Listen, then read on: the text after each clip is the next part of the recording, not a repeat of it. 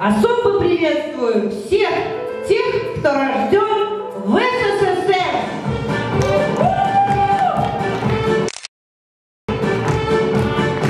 Сегодня мы с нашей замечательной художественной самодеятельностью и вместе, конечно же, с коллективом администрации муниципального образования «Весенний сельсовет» предлагаем совершить удивительное путешествие к самому ностальгическому периоду наших лет.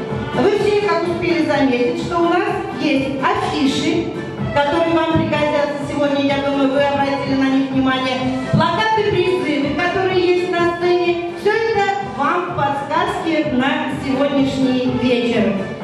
И я надеюсь, что добрые воспоминания, душевные порывы, блеск в глазах и ветер в голове. Вот чем мы были похожи в годы пионерские и годы